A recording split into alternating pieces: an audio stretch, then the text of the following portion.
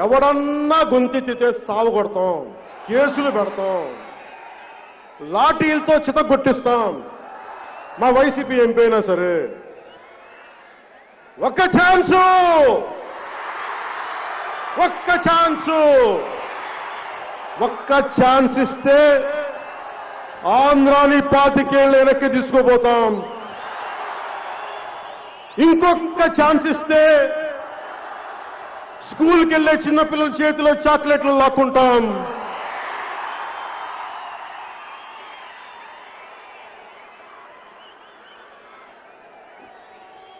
ఇదోబా వారి ప్రతిజ్ఞ.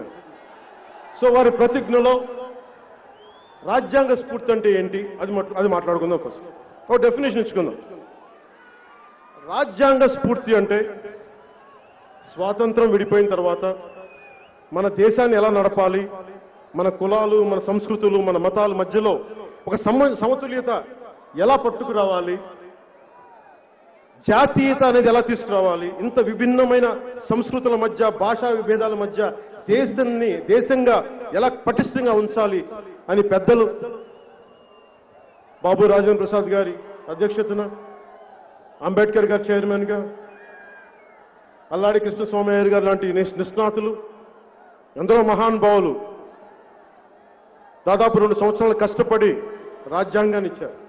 దాంట్లో అందరికీ మన భారత రాజ్యాంగం మతపరంగా కానీ కులపరంగా కానీ ఎలాంటి వివక్ష చూపించదు. ఓట్లేసిన తర్వాత మీరు మా గతంలో ఓట్లు వేయలేదు కాబట్టి మీకు ఈ పని చేయం అని చెప్పదు రాజ్యాంగం. సో రాజ్యాంగ స్ఫూర్తి అన్నీ ఏదైతే పిల్లర్స్ ఉన్నాయో మూల స్తంభాలు ఈ వ్యవస్థను మేము సంరక్షించుకుంటామని దీంట్లో సర్దార్ వల్లభాయ్ పటేల్ గారి మాటలు. ఆయన భారతదేశాన్ని యూనియన్గా చేయడానికి ఆయన పడ్డ తపన అన్ని ఐదు వందల పైచులకు ప్రిన్స్లే స్టేట్స్ని అందరి దగ్గరికి వెళ్ళి అడిగింది మాట్లాడుతుంటే మా రాజ్యాలను మేము ఎందుకు ఇవ్వాలి? మేము ఇండియన్ యూనియన్ ఎందుకు జాయిన్ అవ్వాలంటే రకరకాలుగా మాట్లాడి కన్విన్స్ చేసి ఆయన చెప్పింది కూడా మీకు రాజభరణం ఇస్తాం అని అంటే వాళ్ళు రాజభరణం కోసం ఒప్పుకోలేదు కానీ రాజభరణం కోసం ఒప్పుకోలేదు కానీ రాజభరణాన్ని కూడా పాప యాక్సెప్ట్ చేశారు. వాళ్ళ ఆ రోజున ఆ రాజులు కానీ ఒప్పుకోకుండా ఉండుంటే ఈ రోజున భారతదేశం ముక్కలు ముక్కలుగా ఉండే పరిస్థితి. సో ఆయన అడిగారు మేము ఎలా నమ్మమంటే నేను భారతదేశపు ప్రభుత్వ ప్రతినిధిగా చెప్తున్నా మీరు నన్ను నమ్మాలి. ఆ నమ్మకం ప్రకారం నిలబడ్డారు. నిలబడి భవిష్యత్తులో రాజభరణం తీసేస్తామంటే ఆయన అన్న ఒకే ఒక మాట ప్లెడ్ స్టివర్డ్ మనం చట్టసభల్లో కూర్చొని ఒక మాట ఇచ్చిన తర్వాత చట్టసభల్లో మనం కూర్చొని ప్రజాప్రతినిధులుగా ఒక మాట ఇచ్చిన తర్వాత దాని మీద మనం ఒప్పందం మీద సంతకాలు పెట్టుకున్న తర్వాత దానిని మనం ఆనర్ చేయకపోతే దాన్ని పాటించకపోతే మనకి సభల్లో కూర్చునే అర్హత లేదు మనకని సర్దార్ వల్లభాయ్ పటేల్ గారు చెప్పారు. సర్దార్ వల్లభాయ్ పటేల్ గారి అన్ని వందల అడుగుల అన్ని వంద పైచిలుక అడుగుల విగ్రహం గుజరాత్లో ఉందేమో కానీ దానికి మించిన అడుగులు ఎత్తు విగ్రహం నా గుండెలో ప్రతిష్ఠించుకున్నాను ఆ మాటలు చదివింది. అంటే ఈ రోజున వైసీపీ చేసింది మొక్క మొట్టమొదటిగా ఈ ఈ పీపీఎస్ క్యాన్సిల్ చేయటం. మూడు ముఖ్యమైన పనులు చేశారు రాగాలి గత ప్రభుత్వం గత ప్రభుత్వం చేసిన పనులు గత ప్రభుత్వం ఏ పనులనైతే సంతకం పెట్టిందో ఒప్పందం చేసుకుందో అందరూ కూర్చొని ఏం చేశారు? అమరావతి అనేది మా రాజధాని. ఈ రాజధానిని అందరూ ఒప్పుకుంటున్నాం. సో అమరావతి అనేది రాజధానిగా చేసి ఆంధ్రాకి రాజధాని ఒప్పుకున్న తర్వాత ప్రతిపక్షంలో ఉండి ఇప్పుడున్న ముఖ్యమంత్రి కూడా ఒప్పుకుంటేనే అది ముందుకెళ్ళింది. దానికి ప్రధానమంత్రి నరేంద్ర మోదీ గారు వచ్చారు. సో ఇది చేసిన తర్వాత రాగానే రాజధాని ఇక్కడ కాదు మూడు రాజధానులు.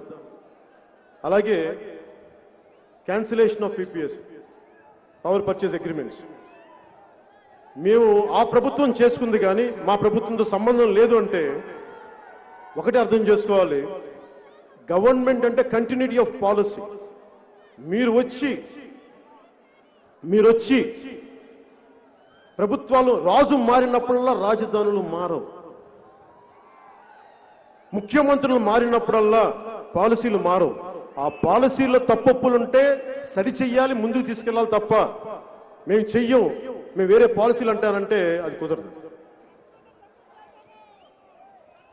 అలాగే ముందుగా అమరావతికి రాజధాని మీదే తీసుకుంటానంటే నేను తెలుగుదేశం పార్టీ ప్రభు పార్టీకి భారతీయ జనతా పార్టీతో కలిసి జనసేన రెండు వేల పద్నాలుగున వారికి మన మద్దతు తెలిపి వారి విజయానికి మన వంతు సహకారం అందించాం.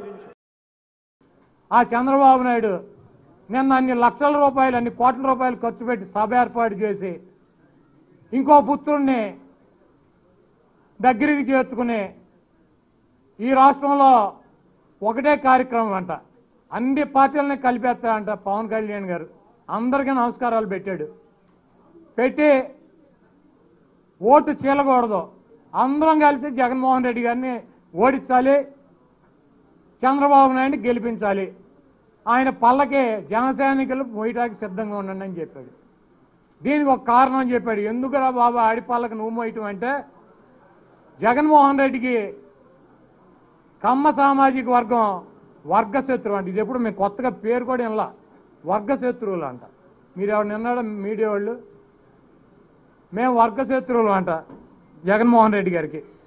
అందుకని ఈ రాష్ట్రంలో ఉన్నటువంటి కమ్మ సోదరులు చాలామంది మా పనికి మాలిన నాయకుడు చంద్రబాబు నాయుడు మా పనికి మాలిన పొప్పుగాడు లోకేష్ మా పనికి పోయిన రాధాకృష్ణ రామోజీరావు నాయుడు వీళ్ళంతా పనికి మాలిన వెధవలో వీళ్ళు కాపాడలేరు మన సామాజిక వర్గాన్ని.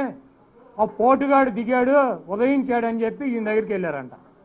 వెళ్ళి మమ్మల్ని రక్షించమని చెప్పి అడిగారంట. మేము వర్గశత్రులు మమ్మల్ని రక్షించమని అడిగితే ఇప్పుడు ఆయన చెప్తాడు జన సైనికులందరూ రెడీగా ఉండండి. మనందరం కలిసి చంద్రబాబును బుట్టలో పెట్టుకుని మోసి పల్లకే మోసి మనం అంతా కూడా బాగా బలిసి మన సామాజిక వర్గం మనం రాజకీయంగా ఆర్థికంగా బలంగా ఉన్నాము. మనం అడుక్కు తిన్నా పర్వాలేదు. చంద్రబాబు నాయుడు ముఖ్యమంత్రిని చేసి కమ్మ సామాజిక వర్గాన్ని కాపాడాల్సినటువంటి బాధ్యత మన భుజాల మీద ఉందని సిగ్గు లేకుండా చెబుతున్నాడు. నాలుగు పద్నాలుగులో పార్టీ అనౌన్స్ చేసి నేను క్యాండిడేట్లు పెట్టే ఇది లేదు నాకు టైం లేదని చెప్పి చంద్రబాబు మత్తిచ్చాడు ఆ తర్వాత యాంటీ ఓటు చీలిపోకూడదు చీలకొట్టాలి జగన్మోహన్ రెడ్డి గారికి వెళ్ళకూడదని చెప్పి సిపిఐ సిపిఎం మాయావతిని పట్టుకుని ఒక కూటమి పెట్టి దాన్ని చీల్చడానికి ప్రయత్నించాడు ఇప్పుడు మళ్ళీ వెళ్ళి చంద్రబాబుని గెలిపించడానికి ప్రయత్నిస్తాడు. ఇది చిన్నపిల్లల్ని అడిగిన అడుగుతారు చెప్తారు. పవన్ కళ్యాణ్ పార్టీ స్థాపించిందే చంద్రబాబు కోసం. ఆయన ముఖ్యమంత్రి అయ్యేది లేదు సచ్చేది లేదు. చంద్రబాబు నాయుడిని ముఖ్యమంత్రిని చేయటానికి చంద్రబాబు నాయుడు ముఖ్యమంత్రి చేయడానికి జనసేన ఎందుకు? ఈయనే ఆయన పార్టీలో చేరిపోతే అయిపోయేది కదా. కాబట్టి ఇటువంటి వ్యక్తులు జగన్మోహన్ రెడ్డి గారిని ఏం చేయలేరు. మొన్న అచ్చెన్నాయుడు ఆంబోతులాగా రంకిలేస్తున్నాడు. నూట అరవై సీట్లు తెలుగుదేశం పార్టీ గెలుపుదంట. ఈ రాష్ట్రంలో ఎవడైనా ఒక్కడన్నా మగాడు ఉంటే జగన్మోహన్ రెడ్డి గారిని ఢీ కొట్టగలిగినటువంటి మగాడు ఈ రాష్ట్రంలో ఏ రాజకీయ పార్టీ అన్న ఉంటే నూట అరవై సీట్లు మీరు సింబల్ మీద పోటీ చేయండి రాజకీయాలు వదిలేసి వెళ్ళిపోతా. తెలుగుదేశం అయినా జనసేన అయినా ఏ పార్టీ అయినా సరే కాంగ్రెస్ బీజేపీ నూట అరవై సీట్లు పోటీ చేయగలిగినటువంటి మగాడు ఎవడు ఈ రాష్ట్రంలో? జగన్మోహన్ రెడ్డి గారికి వ్యతిరేకంగా మీరందరూ కలిసి తలకు యాభై సీట్లు అరవై సీట్లు పంచుకోవాల్సినటువంటి గుంపులు గుంపులుగా వివరించేటువంటి పందులు మీరు. మీరు నూట అరవై సీట్లు గెలుపుతారా? అసలు పోటీ చేయాలి కదా నూట అరవై సీట్లు గెలవాలంటే? ఈ రాష్ట్రంలో నూట డెబ్బై సీట్లు పోటీ చేసేటువంటి ఏకైక మగాడు సింగల్గా సింహంలాగా ఒక జగన్మోహన్ రెడ్డి. మీరందరూ కలిసి నూట డెబ్బై ఐదు సీట్లు పోటీ చేస్తారు. దాంట్లో మీ షేర్ ఎంత? ఒకడికి డెబ్బై ఒకటి తొంభై ఒకటి ముప్పై ఒకటి నలభై ఒకడికి ఐదు ఒకటి పది తోలు బకెట్లు అడుగులేని బకెట్ వెళ్ళి మీరందరూ మీరు జగన్మోహన్ రెడ్డి గారికి ఛాలెంజ్ చేసి నూట అరవై సీట్లు. జనం నవ్వుకుంటున్నారు. అసలు ఈ ఇళ్ళలో ఎవడరా బాబు నూట అరవై సీట్లు పోటీ చేసే పోటుగాడని కాబట్టి ఈ రాష్ట్రంలో నూట సీట్లు పోటీ చేసేటువంటి సింహం సింగల్గా వచ్చే జగన్మోహన్ రెడ్డి గారు ఈ రాష్ట్రంలో నూట అరవై సీట్ల పైన గెలిచేటువంటి ఏకైక మగాడు జగన్మోహన్ రెడ్డి గారు. జగన్మోహన్ రెడ్డి గారి మీద మీరు ఎన్ని అవాకులు చవాకులు పేలినా మీరు ఎన్ని రకాలుగా మీ మీడియాలను అడ్డం పెట్టుకుని మీ పార్టీలన్నీ కలిపి కుట్రలు చేసి ఆయన్ని దించాలని ప్రయత్నించిన ఆయన బతికుండగా ఈ రాష్ట్ర ప్రజల ఆశీస్సులతో దేవుడి ఆశీస్సులతో ఆయన నిండు నూరేళ్ళు మరి ముఖ్యమంత్రిగా కొనసాగుతాడు. ఆయనకి అవసరం లేదనుకుని వెళ్ళిపోతే మీ బోటి వేస్ట్ గాళ్ళు ఎవడన్నా వచ్చి ఆ సీట్లో కూర్చోవచ్చు కానీ ఆయన బతికుండగా ఆ సీటుని టచ్ చేయగలిగినటువంటి వ్యక్తులు ఎవడో లేదని చెప్పి మీరు ఈ సొల్లు కబుర్లు ఆపేసి సోది కబుర్లు ఆపేసి నిర్మాణాత్మకంగా ప్రతిపక్ష పాత్ర పోషిస్తే పోషించండి. లేకపోతే మీ కర్మ మిమ్మల్ని దేవుడు కూడా బాగు చేయలేడు.